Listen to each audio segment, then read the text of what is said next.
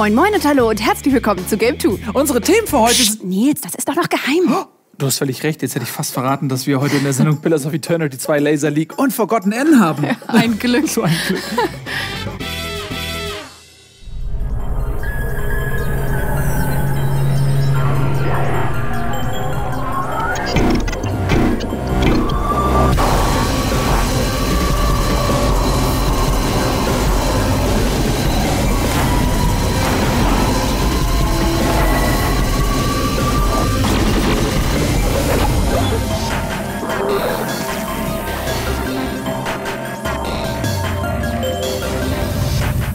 Laser League eine Moderation wäre, dann würde sie ungefähr so aussehen.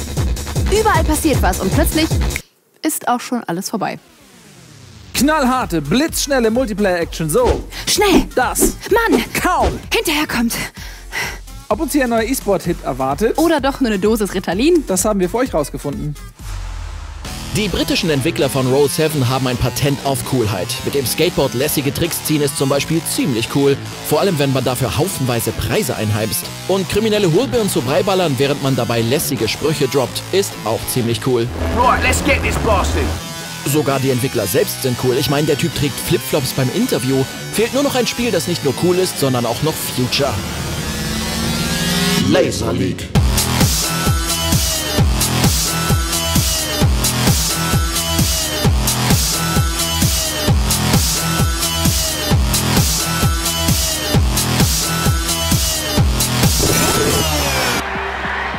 Im Jahr 2150 sind schnarchige Sportarten wie Fußball und Co. out. Hier wird Laser League gespielt. Zwei Teams, haufenweise Laser, riesige Stadien in Neonfarben und blitzschnelle Action.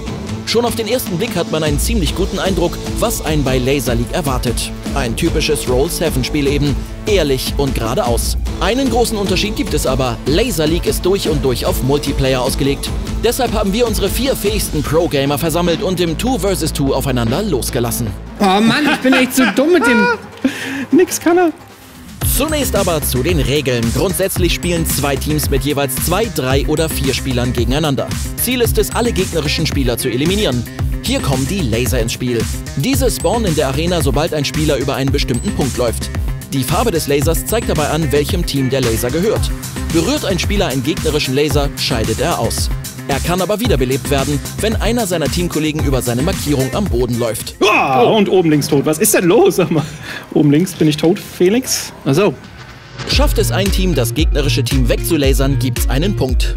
Erreicht ein Team drei Punkte, gewinnt es die Runde und zwei siegreiche Runden gewinnen das Match. Easy. Damit wären die Regeln klar. Nun fehlen unserem Supersportereignis nur noch ein paar Kommentatoren. Also haben wir uns Profis geholt, die Erfahrung mit blitzschneller Action haben. Moin, ich bin Tam, ich bin Call of Duty Caster, hab schon eine Menge Community Call of Duty Events gecastet, unter anderem mit Sven. Ja, ich bin der Sven, du hast gerade schon gesagt, angesprochen. Auch COD-Caster, meistens bei der Code World League anzutreffen. Die kommentieren wir normalerweise. Ja, und heute haben wir uns hier zusammengefunden, um uns mal Laser League etwas genauer anzuschauen. Jetzt gehen wir rein hier in das Matchup und das orange Team spielt Shock und Blade. Ja, das sind relativ offensive Charaktere. Ach ja, das hätten wir fast vergessen. Es gibt sechs verschiedene Klassen, die jeweils über eine Spezialfähigkeit verfügen. Während Matthias als Schockklasse Gegner in seinem Einzugsbereich stunnen kann, verfügt Tims Klasse über einen Klingenangriff, der Gegner besiegt. Felix Smash-Klasse verfügt über ein Schild, mit dem man Gegner in tödliche Laser schubsen kann. Und Sebastians Thief wandelt feindliche Laser in eigene um. Diese Fähigkeiten können aber erst eingesetzt werden, wenn die weiße Fähigkeitenleiste voll ist. Mindestens genauso wichtig sind die Power-Ups, die in der Mitte des Spielfelds auftauchen. Je nach Symbol haben die verschiedene Effekte und können beispielsweise die Farben der Laser umkehren oder sie ganz ausschalten. So, jetzt geht's aber los.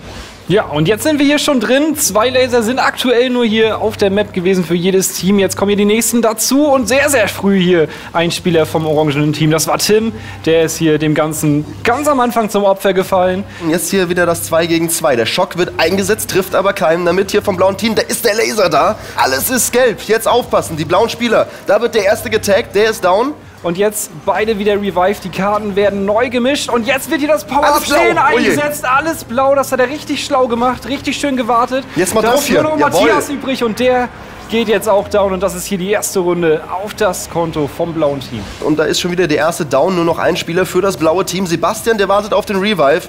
Gucken, ob der Felix hier ankommt. Er kommt an und damit haben wir wieder das ausgeglichen. So, und da wieder zwei gefallen. Der gelbe Spieler kommt da als erstes ran, aber Tim und Sebastian mussten nicht allzu lange warten, wurden wieder revived, das Spielfeld auch resettet. Jetzt fällt der unglücklich Sebastian dem Ganzen zum Opfer. Und da geht auch der letzte blaue Spieler down. Oh. Guck mal, er wollte durch die Wand und kommt auf der anderen Seite in den Laser raus. Das ist unglücklich. Auch wenn es natürlich klug gedacht ist hier, dadurch, dass man halt durch die Wände machen, äh, laufen kann, kann man da natürlich die ein oder andere ja, schlaue Situation rausholen. In diesem Fall nicht ganz so erfolgreich. Gerade sieht es relativ ausgeglichen aus, wobei, da wird der letzte Spieler auch noch ausgeschaltet. Jetzt muss ich mir das nochmal angucken. Er rennt hier voll in den aktivierten Laser rein. Das war der Felix, der ihm da gerade mal eben so, Juhe hier und weg mit dir, den Laser in die Nase gesteckt hat. Ja, jetzt blau wieder mit drei Lasern. Jetzt kommen natürlich auch die nächsten dazu. Und Felix geht down, wird aber sofort wieder revived. Und ja, geht nochmal down. Gut, Felix. Also, das wird nicht deine beste dann genau direkt nur gestunt, nur gestunt, nur ja. gestunt. Oh, da wird er weggenadet. Das war Blade, oder? Ja, genau, das war war Blade, Blade. haben wir ihn gesehen? Wird er aus dem Leben geschlitzt.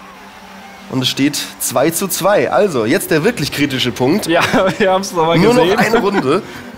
Nur noch eine Runde. So, das blaue Team. Hoffentlich bleibt Felix etwas länger am Leben als in den vergangenen Runden. Das sieht ja schon mal etwas besser aus. Jetzt hier, und da kriegt er den ersten auch schon hier raus. Der ist down gegangen und wird jetzt hier auch ausgeschaltet. Nur noch ein Spieler, das ist Tim.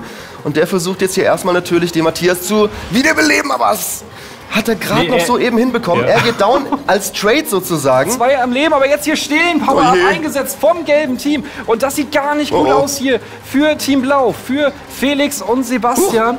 Sie müssen sich da irgendwie durchkämpfen und sie schaffen das auch tatsächlich. Umkehr jetzt nochmal aktiviert und da geht der letzte gelbe down. 3-2 und Team Blau holt sich hier. Ja, also das war wirklich krass, wie wirklich das Spielfeld halt wirklich umgedreht wurde. Man hat gedacht, Ja. gut, Team Gelb hat das, safe, das, das können die nicht mehr abgeben. Und dann, ja, ein so ein Power-Up und so schnell kann es gehen. Die erste Runde geht also an Felix und Sebastian. Matthias und Tim geben sich aber nicht geschlagen und holen den ersten Punkt mit einem gekonnten Schlitzer. Scheißenstein. 啊。哇。Die Kontrolle über die Laser ist zwar wichtig, Punkte gibt's aber nur, wenn der Gegner auch besiegt wird. Und das müssen Tim und Matthias am eigenen Leib erfahren. Nach wie vor kein Gewinner hier in dieser zweiten Runde. Ich weiß nicht genau, wie lange die schon spielen, aber jetzt Felix. wieder stehen Power-Up für Team Gelb und das sieht nicht gut aus. Aber wieder schafft es Felix da, seinen Mate zu reviven. Und wieder, ja, irgendwie stiebitzen sie sich da durch und holen sich hier sogar die Runde. 1-1. Sie schaffen es nicht, den Sack zuzumachen. Team Blau gleicht aus und geht mit einem weiteren Punkt sogar in Führung. Das bedeutet Matchpunkt für Sebastian und Felix. Okay, den müssen wir jetzt holen. Ja, jetzt muss. Ja, muss. Uns vorbei. Und das tun sie auch. Der erste Matchball ist abgewehrt. Eine weitere Chance bleibt Felix und Sebastian noch, das Match für sich zu entscheiden. Sebastian rennt stattdessen aber lieber in den Freitod und Felix, der rechnet nicht mit dem Umkehr-Power-Up, das Matthias genau im richtigen Moment einsetzt.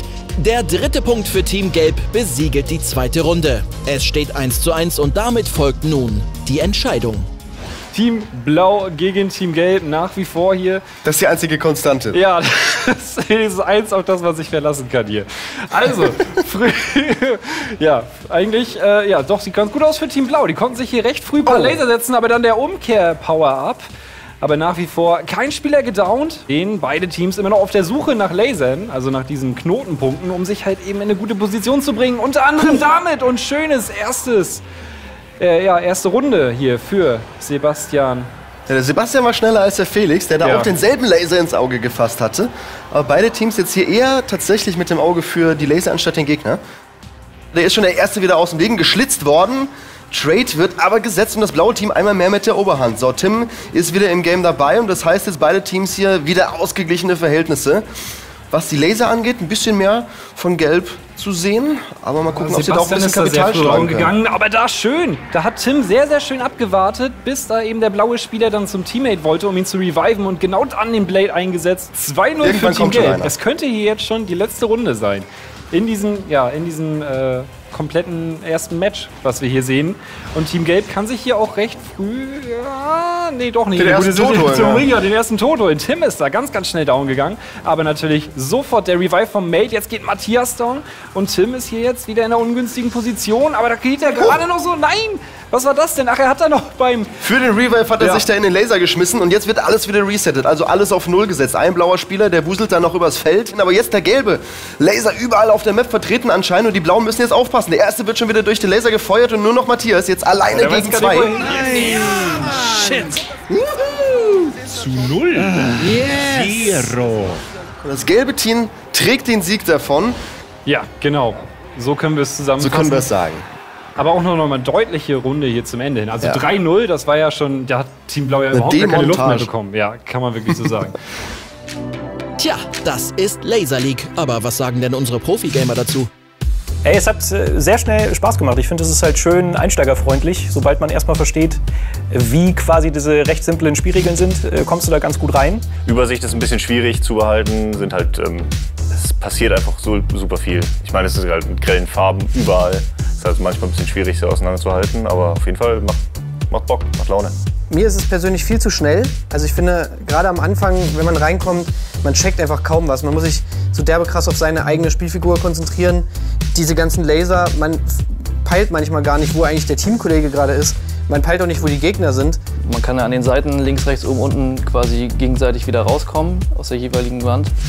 Da bin ich auch manchmal ein bisschen überfordert gewesen. Wenn man zu dicht an einer Wand stand und dann nur so ein bisschen den Controller bewegt hat, hat man so derbe sich so hin und her gejiggert. Oben, unten, dass ich dann irgendwann gar nicht mehr wusste, wo ich bin. Aber nach so ein paar Matches bin ich dann reingekommen und hat eigentlich schon Bock gebracht. Spaß macht es, das ist keine Frage, aber es hat auch ein paar Schwächen. Die Übersicht ist definitiv ein Problem, vor allem zu Beginn. Und auch die Steuerung ist erstmal gewöhnungsbedürftig. Zum Spielen braucht ihr lediglich einen Stick zum Laufen und die Schultertaste, um eure Fähigkeiten auszulösen. Das ist zwar schön simpel, hat aber auch seine Tücken. Ich finde, es ist ein bisschen unpräzise. Ich habe ich hab immer das Gefühl gehabt, bei diesem Aktivieren von diesen Laserschranken, dass du halt irgendwas drücken musst. Irgendwie hat mir da was gefehlt. Man hat irgendwie kein Feedback bekommen. Ich hätte zum Beispiel gerne eine Taste, mit der ich das machen kann. So, wenn ich zu dem Knotenpunkt kommen würde und dann vielleicht so ein kleiner Kreis erscheint, wo ich weiß, okay, jetzt kann ich die Taste drücken, dann die Taste drücken und dann geht das Ding an. Das wäre für mich so was, wo ich sage, okay, das ist eine präzise Eingabe, wo ich auch direkt ein Feedback habe. Wünschen würden wir uns auch Dedicated Server. Momentan hat man online keine Möglichkeit, gegen ein Team aus befreundeten Spielern zu spielen. Das geht bislang nur lokal an einem Gerät. Einen LAN-Modus gibt es ebenfalls nicht. Schade, denn wir könnten uns durchaus vorstellen, dass Laser League mit ein bisschen Feintuning zum E-Sport-Hit avancieren könnte. Die Regeln hat man schnell verstanden. Genug Tiefgang für Profis bietet es allemal und die sechs Klassen sorgen für Abwechslung und machen gleichzeitig einen gut ausbalancierten Eindruck. Als Partygame für die Couch ist Laser League schon jetzt bestens geeignet. Und wer alleine oder mit bis zu zwei Freunden online spielen will, kann dafür immerhin neue Kostüme, Lasermuster und Arenen freischalten. Selbst wenn uns hier also nicht das nächste Rocket League ins Haus stehen sollte, hat Laser League das Prädikat cool mehr als verdient. Ja, Mann! Boah, das war ein mit denen noch nicer geholt, Return. Alter. Alter. Alter. Geil.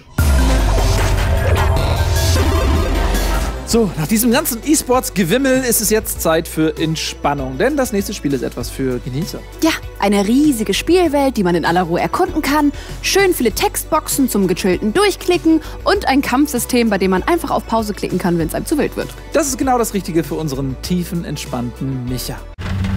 Ja, geil. Hab ich Bock drauf. Und weil er sich so, so sehr auf Pillars of Eternity 2 gefreut hat, Haben wir das Spiel Sebastian gegeben.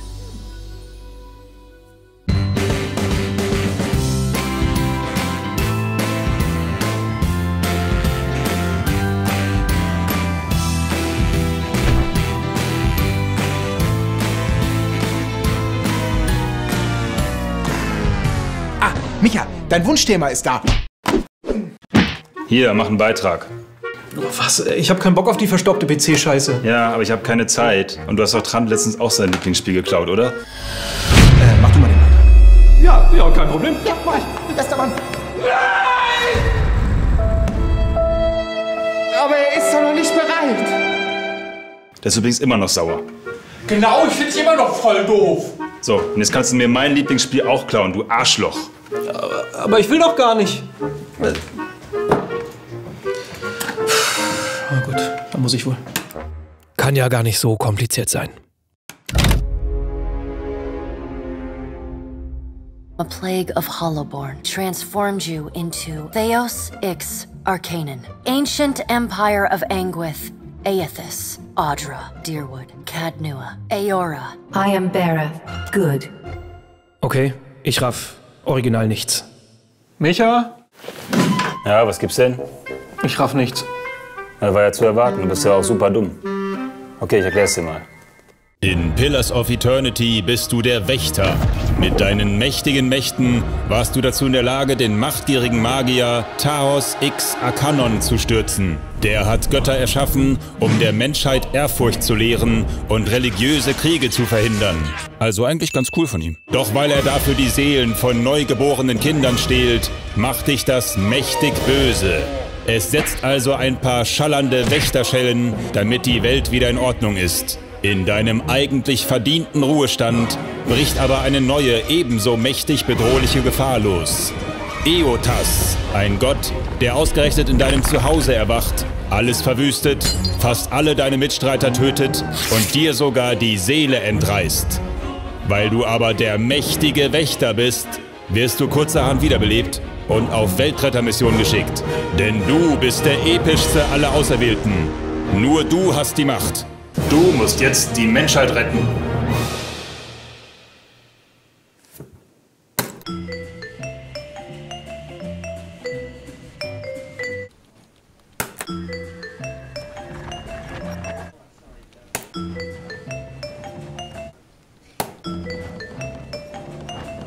Ja, danke, Micha. Ich mach da mal weiter und hab den Spaß meines Lebens. Juhu. Will ich wohl meinen. Also, erstmal stelle ich mir einen Charakter. Den mag ich schon mal. Der scheint genauso wenig Bock auf das alles zu haben, wie ich. Ich meine, guck dir an, wie der Boy wiederbelebt wird. Keine Phase an dem Typen ist happy darüber. Es sieht so aus, als hätte er kurz die Hoffnung, in einem geilen Spiel aufzumachen und dann merkt er, scheiße, ist ja Pillars of Eternity. Misfortunes brewing topside. They're demanding parley with you, Captain. Oh, der erste Kampf. Vielleicht wird's ja doch ganz unterhaltsam. Äh, äh.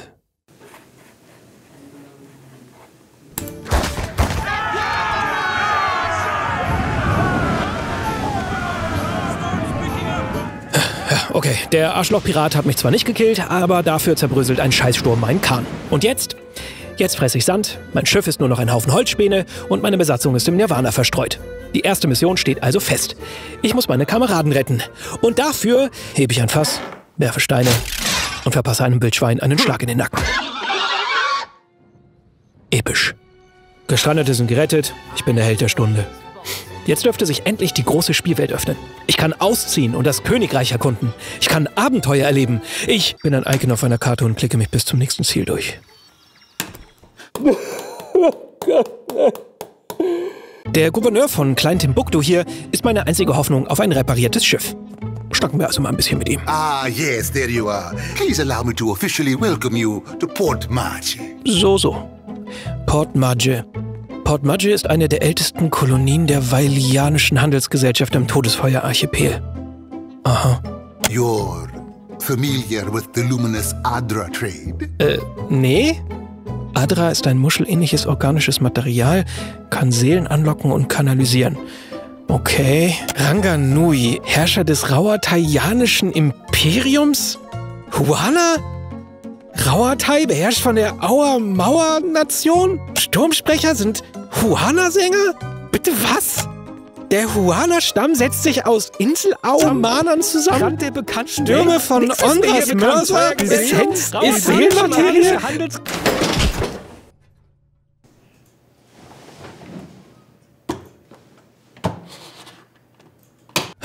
Nicht nur, dass ich nichts verstehe und die Dialoge sich wie Wikipedia-Artikel lesen, die reden auch alle noch so unglaublich viel. Hier unterhalte ich mich gerade mit Leuten, die ein komisches Ritual abhalten. Und was machen die? Reden über Religion, reden über Politik, reden übers Leben und reden über Reden. Und dann vergehen plötzlich drei verdammte Tage? Ah!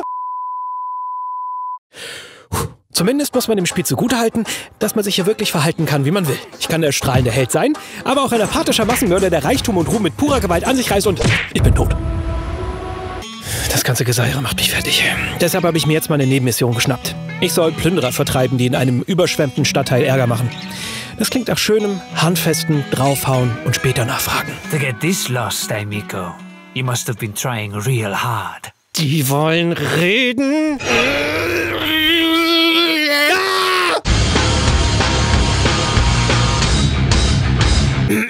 Nach dem Sieg über redselige Plünderer steht das Mikromanagement an.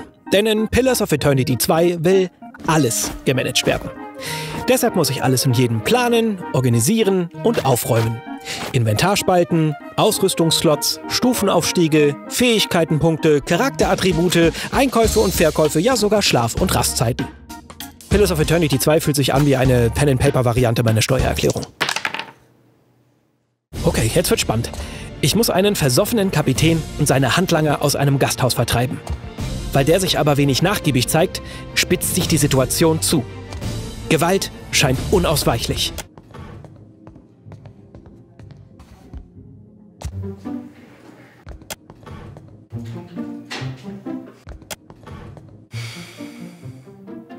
Ich kann den Mist nicht mehr spielen. Ich brauche Hilfe.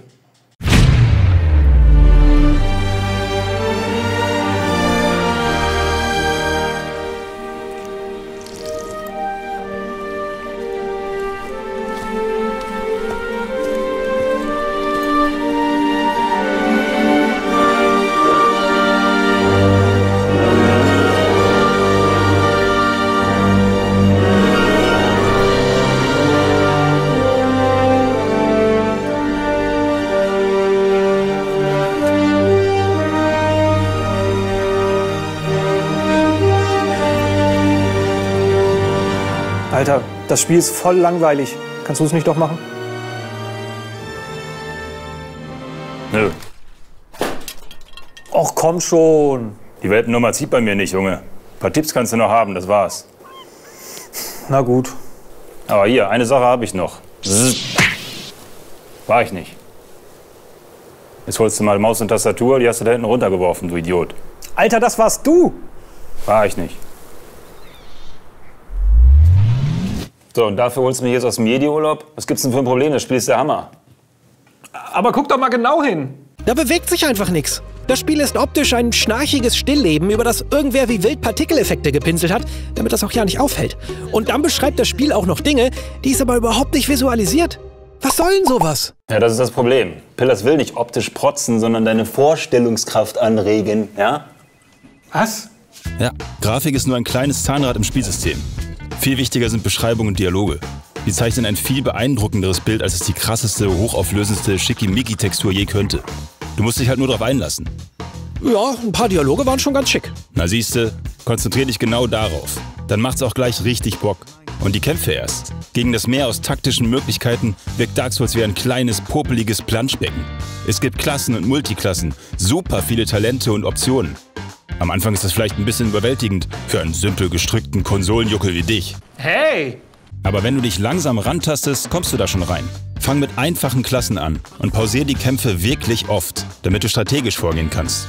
Schau mal, ein Raum voller fliegender Mistviecher und Explosivfässer. Britzel da mal eine Feuerkugel rein. Ah, okay, ich glaube, ich raff's. Ja, gut. Vielleicht stellst du dich das nächste Mal nicht treu doof neben die explosiven Dinger, du Blitzbirne. Aber ich glaube, du verstehst vage, worauf ich hinaus will. Naja, das war's an Tipps. Mach du mal den Arschlochpiraten platt, der dein Schiff zu Sperrholz zerraspelt hat. So, ich muss jetzt wirklich weg, ne? Tschüss. Äh, okay, danke, glaube ich. Ich äh, glaube, ich gehe mal die Aufgabe vom Gouverneur an, damit er mein Schiff repariert. In einer Ausgrabungsstätte soll ich für ihn nach einem verschollenen Forscher suchen. Ein paar leichte Gegner wische ich mit Simsalabim und Nasehauen beiseite. Dann räume ich noch so eine in Flammen stehende Schatzkammer aus. Weil ich klug bin. Ah, Feuer, Feuer, Feuer, Feuer, ah, Feuer, Feuer, Feuer, ah, ah, ah, ah, Feuer! Oh, meine Truppe entwickelt sich so langsam. Vorher waren's lumpige Landstreicher, jetzt sind's die heftigsten Krieger. Perfekt. Hm, ich habe mein Schiff wieder. Jetzt steht mir die Welt wirklich offen. Jetzt räche ich mich am Arschlochpiraten. Jetzt, ich bin tot. Ich hab's zum Piratentyp geschafft. Zeit für süße, bluttriefende Rache.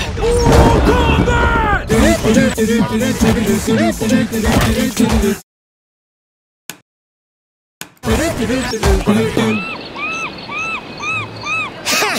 Gewonnen! Scheiße, das ist gut. Ich hab's mittlerweile echt drauf. Ich bin dem Geheimnis um den amoklaufenden Götterknilch noch ein ganzes Stück näher gekommen, aber noch lange nicht am Ziel. Ich habe mein Schiff mit Besatzung, Proviant und Kanonen ausgerüstet. Okay, Seeschlachten per Multiple-Choice-Fragebogen sind schon arg lame. Aber egal, das alles kickt mich jetzt irgendwie trotzdem. Die Geschichte saugt mich dank tollem Writing völlig in sich auf. Es gibt vielfältige Sidequests, moralisch ist hier nichts schwarz und weiß und jede Entscheidung ist ein Tanz auf dem Pro- und Kontradrahtseil. Ach, es ist alles echt überraschend toll. Ich glaube, ich spiele noch ein bisschen weiter. Hier gibt es noch so viele Geschichten, die ich noch gar nicht erlebt habe. Und Was ist denn hier los? Ey, es stinkt wie Sau. Hast du das ganze Wochenende durchgezockt? Ja, jetzt halt die Klappe und lass mich weiter zocken.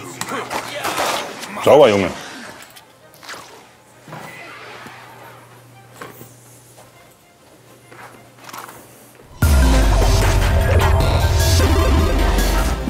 Mann, ich raste hier gleich komplett aus! Wieso, was ist denn los? Keine Ahnung! Wie jetzt? Mann, ich weiß nicht, was los ist! Mir sagt das ja keiner! Aber. Was ist denn mit Krogi? Was soll sein mit mir? Bei mir gibt's natürlich die wöchentliche Ladung geile News und wir starten mit dem Leak der Woche Rage 2. Das hätte Bethesda sicher lieber auf der E3 angekündigt. Da letzte Woche aber diverse Gerüchte und Halbinfos im Netz die Runde machten, zog der Publisher die Enthüllung notgedrungen vor. Rage 2 entsteht in Kooperation bei den Just Cause-Machern Avalanche und id Software, den Entwicklern des ersten Teils. Die versprechen eine gigantische Open World in endzeitlicher Mad Max-Ästhetik. Die überdrehte Balleroper rund um Menschen, Monster und Mutanten steht für 2019 in den Startlöchern. Nach dem phänomenalen Debüt der Monster Hunter Saga auf PlayStation 4 und Xbox One dürfte hierzulande so mancher Nintendo-Fan auf frisches Jagdfutter für die Switch warten. Jetzt hat Capcom euer Flehen erhört! In Japan ist das Ganze bereits seit letztem Jahr unter dem Namen Monster Hunter Double Cross für 3DS und Switch erhältlich. Ende August steht der Ableger dann auch bei uns als Monster Hunter Generations Ultimate in den Läden. Dann allerdings exklusiv für die Switch. Im Vergleich zum modernisierten Monster Hunter World setzt Generations Ultimate auf das traditionelle Monster Hunter Spielgefühl, kommt mit der bislang größten Kreaturensammlung daher und unterstützt auch die Touchscreen-Funktion der Konsole. Da wetzen wir doch gern schon mal die Messer. Breaking News! Oho, was macht denn der Ingo in den News? Der grätscht mal eben dazwischen, weil so ganz kurz vor knapp noch was richtig Spannendes reinkam. Call of Duty Black Ops 4 wurde nämlich endlich enthüllt und hat auch gleich die heißesten Gerüchte der letzten Wochen bestätigt. Der neueste Ableger hat tatsächlich keine Singleplayer-Kampagne mehr. Stattdessen bietet Black Ops 4 neben herkömmlichen Mehrspielergeballere und dem altbewährten Zombie-Modus nun auch einen trendigen Battle Royale-Modus namens Blackout. Also ganz schön was anders beim nächsten Call of Duty. Wie Erzrivale Battlefield dagegenhalten will, erfahren wir am 23. Mai. Und damit, sorry fürs Stören, zurück zu dir, Krogi. Und weil im Gaming-Terminkalender aktuell richtig was los ist, steht unser heutiger Newsticker ganz im Zeichen von Neuankündigungen und Verschiebungen. Also Freunde, zückt eure Kalender. Kommt sehr bald. Passend zur laufenden Saison arbeitet Codemasters an Formel 1 2018. Das Spiel wird bereits im August erscheinen. Dauert noch. Die düstere Endzeitballerei Metro Exodus wurde von Herbst diesen Jahres auf das erste Quartal 2019 verschoben. Dauert länger. Auch die Arbeiten an Shenmue 3 gehen nicht voran wie geplant. Statt im zweiten Halbjahr 2018 ist der Release nun für irgendwann 2019 angepeilt. Dauert noch länger. 2K Games hat ein Zitat heiß ersehntes Spiel vom aktuellen auf das nächste Geschäftsjahr verschoben. Damit erscheint eine von Zitat 2Ks größten Marken vielleicht erst Anfang 2020. Wir tippen mal auf Borderlands 3 oder ein neues Bioshock. Dauert noch verdammt lange. Wie GSC Game World bestätigt hat, befindet sich Stalker 2 in der Entwicklung. Der Release ist jedoch erst für 2021 angesetzt.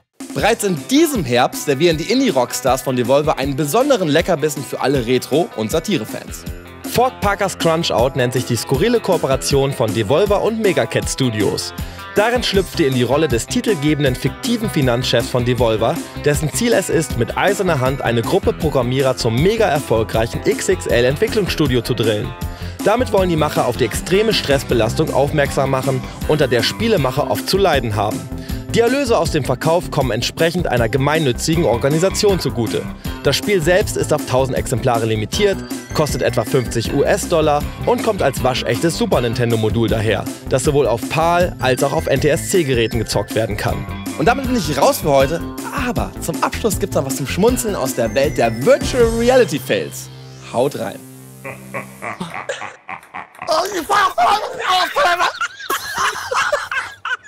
Oh, you fuck! Oh, man! You go down! My fucking son from the table! oh, shit! Oh, my king got friend. Medic. Oh, shit. Medic for Charlie. That was amazing. Jetzt. Halt dich fest, jetzt habe ich einen echten Geheimtipp für dich. Schieß los. Forgotten Anne. Klassischer 2D-Sidescroller, stammt von einem dänischen Indie-Studio und spielt in einer Dimension, in der sich alle Gegenstände wiederfinden, die irgendwo vergessen wurden. Auch meine Steuererklärung? Ja, aber das Beste kommt noch. Was denn? Es ist schön. Aber wie schön? Mega schön. Ist es wunderschön? Super, mega, ultra schön. Das Todes mal zwei mit Schönheitstopping und extra viel Schönheit obendrauf. Schön. Das Square Enix Collective ist eigentlich eine ziemlich coole Idee. Es ist eine Plattform, auf der junge Entwickler eine Spielidee präsentieren können, woraufhin die Spieler-Community entscheidet, ob diese Spielidee umgesetzt werden soll oder nicht. Und wenn eine Idee für gut befunden wird, unterstützt Square Enix den jeweiligen Entwickler mit Feedback, finanzieller Unterstützung und Distribution. Einige Spiele sind bereits unter dem Label erschienen, wie etwa der Arena-Klopper Deadbeat Heroes, das Point-and-Click-Adventure Tokyo Dark oder auch der recht bekannte Ego-Puzzler The Turing Test. Das neueste Baby mit Square Enix Collective Stempel ist nun Forgotten N. Ein 2D-Adventure mit einem charmanten Anime-Look vom dänischen Studio Throughline Games. Forgotten N zeigt uns zunächst, was mit vergessenen Dingen geschieht. Gerät ein Gegenstand in Vergessenheit, weil wir ihn nicht mehr brauchen oder wir ihn aus den Augen verlieren, so wie dieser Bunsenbrenner aus unserem Requisitenlager, dann verschwindet er und fällt in eine andere Welt. Eine Welt, die fast ausschließlich von lebenden Gegenständen bevölkert wird. Der nächste bitte. Na endlich. Sag mal, was ist denn hier los, Alter? Eben war ich noch bei der Game Tour Redaktion und jetzt bin ich hier. Das hier ist die Welt der Vergessenen. Das bedeutet, dass man sie vergessen hat. Scheiße. Und jetzt? Jetzt kriegen sie von mir eine Arbeit zugeteilt. Ähm, Mal sehen, was. Halt, stopp! Den übernehme ich. Order vom Meister Bonku. Ich soll ihn zur Werkstatt bringen. Aha, hm, na dann. Ey, ich kenn dich doch! Schnauze, Neuer. Und komm mit. Ich zeig dir den Weg. Du bist doch der prachtvolle Eimer aus Folge 65. War eine geile Show, Dude. Ja, aber jetzt sei ruhig. Ich bin hier, um dich rauszuholen. Wir haben einen Weg zurück in die Game Tour Redaktion gefunden. Echt? Ihr habt einen Weg hier rausgefunden? Halt die Fresse, Mann. Wenn uns die Hüterin erwischt, kommen wir nie heim. Die Hüterin, von der der prachtvolle Eimer spricht, ist Anne. Sie sieht nach dem Rechten und setzt das Gesetz von Meister Bonku durch, der in der Welt der Vergessenen das Sagen hat. Bonku lässt gerade eine sogenannte Ätherbrücke bauen, mit der die Vergesslinge wieder zurück in die echte Welt gelangen sollen. The ether bridges are number one priority. Und das klappt nur, wenn sich alle ordentlich verhalten, die Regeln befolgen und arbeiten. Jedoch tun das nicht alle. Als Rebellen einen Anschlag verüben und so die Anima-Versorgung der Stadt teilweise lahmlegen, ist es an Anne, die Schuldigen zu finden und die Ordnung wiederherzustellen. Das tut sie einerseits durch Gespräche mit den Vergesslingen, zum anderen nutzt sie aber auch ihr AK. Das ist ein besonderer Handschuh, mit dem sie Anima-Energie aus Kanistern aufnehmen kann, um sie an anderer Stelle einzusetzen. Etwa um Licht anzuschalten, Maschinen in Gang zu setzen oder um Ventile von Anima-Leitungen umzuschalten. Das AK ist aber nicht nur ein Werkzeug zum Lösen von Rätseln, sondern auch Anns Dienstwaffe. Wohin gehen wir? Wir holen noch jemanden ab. Bunsenbrenner, das ist Stein. Stein, das ist Bunsenbrenner. Stein, was geht? Geiler Auftritt damals in Folge 49. Freut mich, dich kennenzulernen. Hey Stein, alles okay? Oh mein Gott. Was denn? Die Hüterin muss ihn destilliert haben. Das heißt? Er ist tot. Scheiße. Und jetzt? Feuerbestattung. Okay. Alter, der lebt ja noch! Hm, er hat wohl nur geschlafen. Egal, der hält das aus. Von Destillation spricht man, wenn Vergesslingen ihr Anima entzogen wird. Und genau das macht ihr, wenn es die Situation erfordert. Ein Rebellenschall bricht in eure Bude ein? Hasta la vista! Ein Rebellenlautsprecher will nicht kooperieren? Nimm das! I'm not saying anything. Allerdings lässt euch das Spiel oft die Wahl, wie ihr reagiert. Ihr müsst niemanden destillieren, wenn ihr nicht wollt. Vielleicht reicht es schon, einfach nur einen schärferen Ton anzuschlagen. Oder ihr versucht es auf die freundliche Art. Wie ihr mit den Vergesslingen umspringt, beeinflusst auch den Spielverlauf. You're lucky I'm in such a hurry. Consider this a warning. Next defense, and it's straight to the plant. Neben Gesprächen und Puzzles machen auch Plattformpassagen einen Teil von Forgotten Anne aus. Anne kann sprinten, springen und sich an Kanten hinaufziehen und für größere Distanzen nutzt sie ihre mechanischen Flügel. Allerdings dürft ihr euch die Jump'n'Runnerei lange nicht so dynamisch vorstellen wie in einem reinen Jump'n'Run. Dafür steuert sich N viel zu träge. Achtung, da ist die Hüterin. Wir müssen warten, bis sie weg ist. Okay.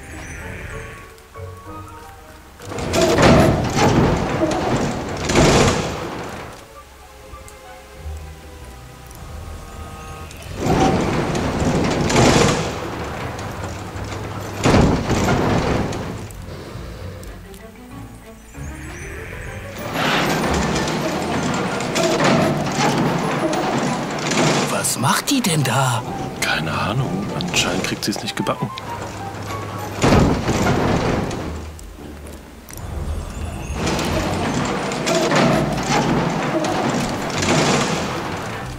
Sag mal, wie blöd ist die denn? Scheiß drauf, wir gehen woanders lang.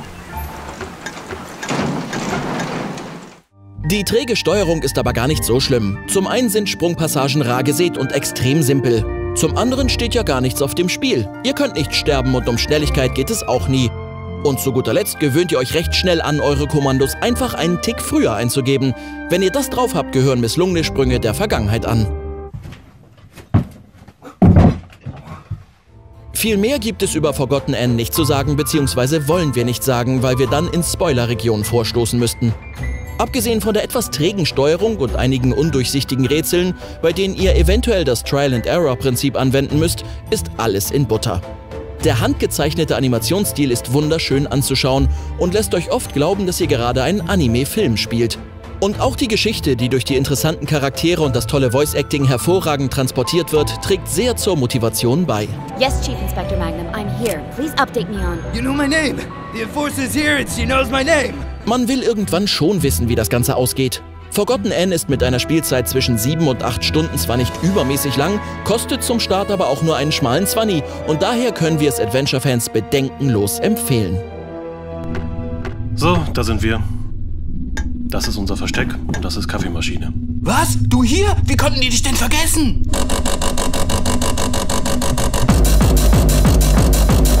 Stopp! Dafür haben wir keine Zeit. Wir müssen durch das Portal. Alle bereit? Dann los.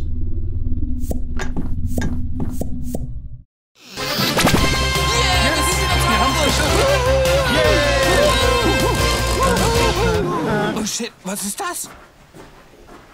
Tja, stellen wir sie hier hin. Ja, ich weiß jetzt auch nicht. Wohin sonst? Doch. Alles klar. Sieht doch super aus. Hast. Ach, Kacke.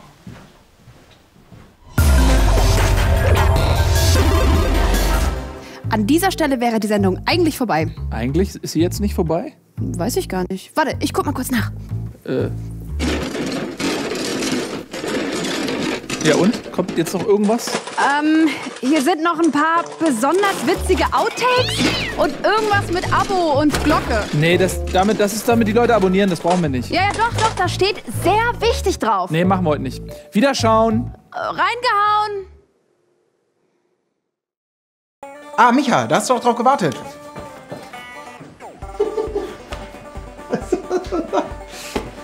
Moin Moin und hallo und herzlich willkommen zu Game 2. Heute Themen. Nein, heute Themen. Heute Themen. Die Themen. Heute, heute Themen. Ich hab keine Zeit. Du machst das jetzt. Das hat Tran letztens auch schon sein Spiel weggeschnappt. Achtung. Und ein bisschen. Äh,